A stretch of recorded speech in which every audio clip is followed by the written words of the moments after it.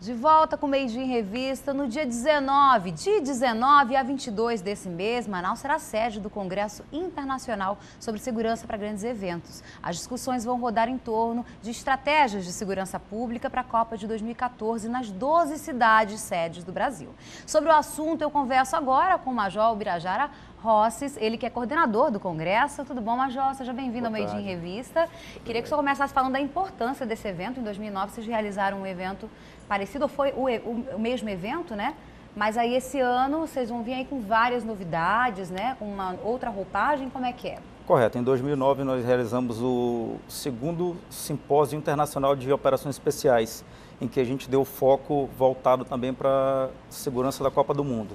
E novamente, como o evento foi, foi um, um grande sucesso, nós tivemos também participação de várias pessoas do país, das cidades sedes da Copa aqui no Brasil, como representante de outros países, nós voltamos agora com essa roupagem, com esse, com esse evento voltado para a segurança da Copa, envolvendo agora algo mais, que é envolvendo material bélico, envolvendo também as instruções de tiro que serão é, é, fundamentadas aqui e difundida para os outros estados sede da Copa. Além das palestras, a gente vai ter lá uma exposição, na verdade, algumas empresas expondo materiais tecnológicos, né? Quem são essas empresas e como é que vai ser esse, esse outro trabalho paralelo?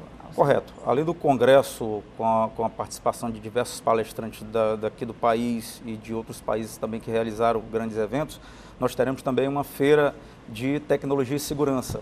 Essa, essa feira será composta por diversas empresas nacionais e multinacionais voltadas para equipamentos, armamentos, é, tecnologias militares e não militares que são geralmente utilizadas em estádios de futebol e em grandes eventos de modo geral. Tudo no mesmo ambiente, né? Vai ser no Hotel Tropical Tudo e lá no... as pessoas vão ter acesso às palestras e também às, à, à, feira, né? Justamente. E vem muita gente de fora, a programação está bem recheada, tem muita gente. Antes da gente falar da, das pessoas aqui do Brasil que vão estar, tá, algumas presenças especiais, né? Vamos falar sobre quem vem de fora? Correto. Além do ministro dos esportes, que é, que é o nosso grande apoiador, o Ministério do Esporte está conosco nessa, nessa empreitada, nós teremos representação de todos os estados. Cada estado é, está mandando dois representantes e os estados sede da Copa, que são aqueles 11 estados, estados é, 12 com o Amazonas, né, estarão mandando de quatro a cinco representantes. É, isso é nível nacional. A nível internacional, nós teremos praticamente todos os países aqui da América do Sul, mais alguns países da Europa Israel, que está mandando dois, três representantes para a gente, e, e demais é, é, pessoas de outro segmento, até mesmo da, da, iniciativa privada, estarão conosco. Agora, os palestrantes, quem é que está nessa programação? Eu sei que tem o Rodrigo Pimentel, que, foi, ficou conhecido como Capitão Nascimento né, no filme. Quem é que está nessa programação toda? Quem vai palestrar? Quem são as pessoas assim que a gente pode esperar já para estar tá palestrando e para que as pessoas possam estar tá fazendo um intercâmbio também de informações, né?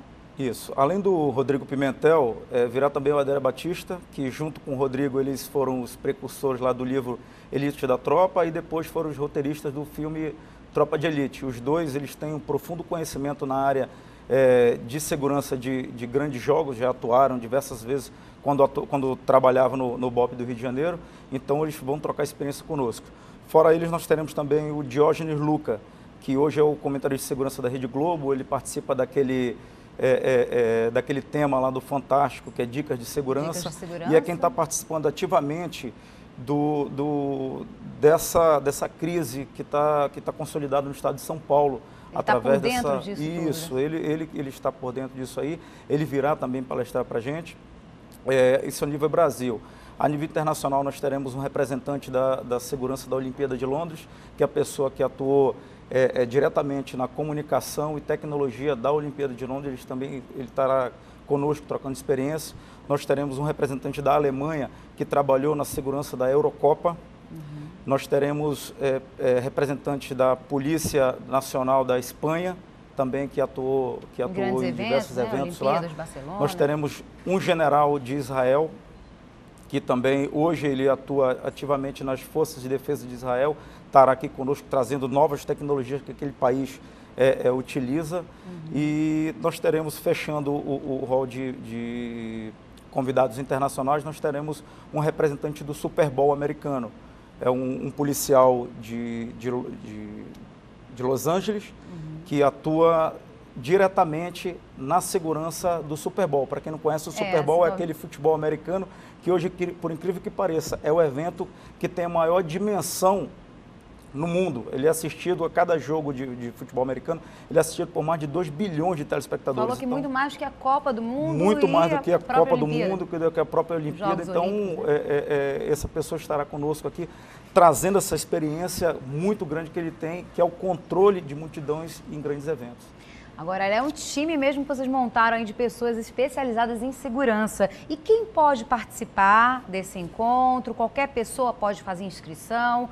como, como a gente pode saber já? É, tem, tem um site que vocês estão disponibilizando também para inscrição? Primeiro me responda, quem pode participar? Isso, nós abrimos esse, esse leque de participação para todas as pessoas envolvidas direta e indiretamente na segurança da Copa do Mundo, quer seja aqui em Manaus como nos outros estados.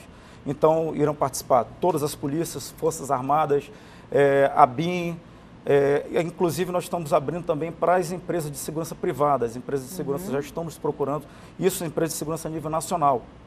Estamos procurando uhum. para fazer as inscrições. É claro que nós faremos uma análise social de cada pessoa é, não policial que esteja se inscrevendo, até para gente, a gente não ser surpreendido por, por elementos adversos que possam estar querendo é, adquirir ali aquela, ganha de, aquela gama de conhecimento muito elevada uhum. que vai estar sendo produzido durante o Congresso mas o evento ele está bastante aberto. Inclusive, nós abrimos até para algumas instituições, é, é, é, faculdades de relações internacionais aqui de Manaus que nos procuraram, tendo em vista que o tema também abrange a Copa do Mundo. O público previsto para o Congresso é de quantas pessoas? O público previsto são de 600 pessoas. Então, assim é o limite, é o limite, é, é o limite de 600, 600 pessoas. pessoas. E um público flutuante na feira de em torno de 3 mil pessoas. Tá certo. Estou até, inclusive, com um flyer aqui, com todas as informações. É o Congresso Internacional de Segurança para Grandes Eventos. Eu queria, Major, que você pudesse fazer o convite mais uma vez, pode ser? Correto. Fica aí o convite. É um evento organizado pelo, governo do Estado através da Polícia Militar. Está aberto a todos. O, o site, mais uma vez falando, é o www.cismanaus.com.br. Os senhores podem pegar todas as informações a respeito do evento e ali mesmo é, fazer uma pré-inscrição para o evento. Tá certo, então? Então, só lembrando, olha só, a produção já disponibilizou CIS Manaus de Congresso Internacional de Segurança, né? Correto. cismanaus.com.br. Tem o telefone também de informações que é o 3304 2330 e o 3305 2350. Major Rossi, quero agradecer a sua presença aqui, desejar sucesso nesse evento, viu? Mais uma Muito vez, obrigada. nós é que agradecemos a Polícia Militar agradeço a oportunidade que estão dando mais uma vez para a gente. Tá certo, obrigada. E você, quer enviar sugestões ou comentários? É bem simples, ó, basta enviar um e-mail para a gente, meidinrevista.gmail.com. Amanhã a gente volta, o Meio de Revista dessa quarta-feira termina o som de Zé Miguel e Nilson Chaves, que interpretam aí a música Pérola Azulada. Tchau.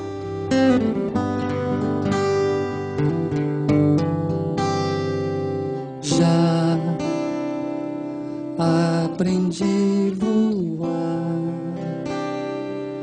dentro de você, ancorar o espaço ao sentir cansaço, ossos da jornada.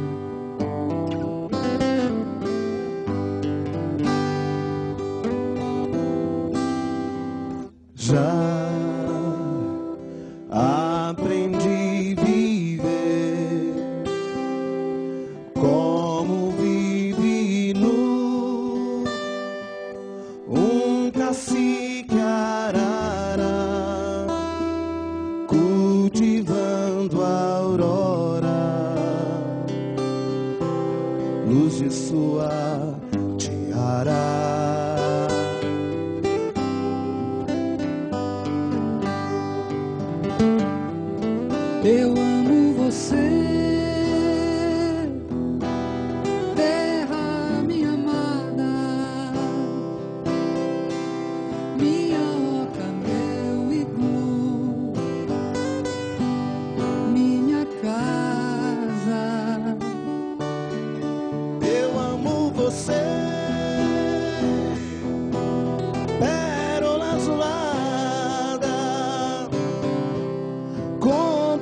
colar.